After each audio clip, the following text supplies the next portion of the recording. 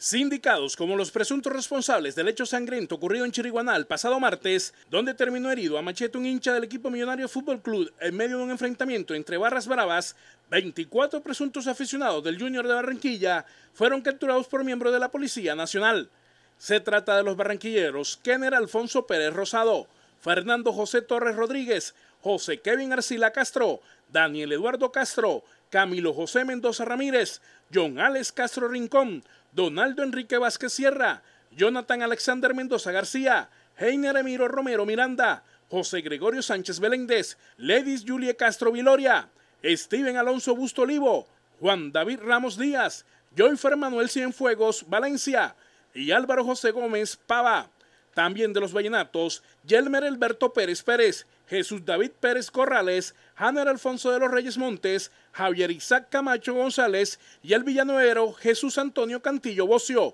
quienes junto a tres menores provenientes de Soledad Atlántico, Valledupar y Medellín fueron capturados en flagrancia por las autoridades en Chiriguaná, en la vía que de ese municipio conduce a San Roque, en medio de un plan candado cuando presuntamente intentaban huir en un camión. En el procedimiento también se incautaron tres machetes.